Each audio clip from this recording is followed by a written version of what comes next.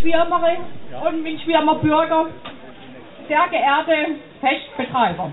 Ich darf Sie und euch recht herzlich zum 29. Kirchbergfest begrüßen. Frau Ortsvorsteherin Christa Dietz aus Schmieheim, Herr Ortsvorsteher Michael Fieler aus Aldorf, der Herr Stabhalter Meier aus Ettenheim-Weiler ist entschuldigt.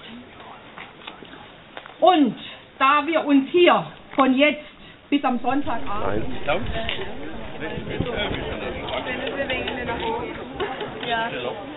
Siegfried, machen wir das Ding recht, gell?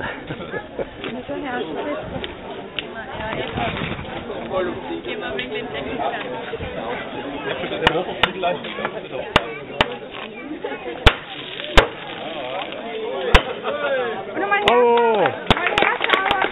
Siegfried, schau mal her! Hier, hier, spielt die Musik. Jawohl!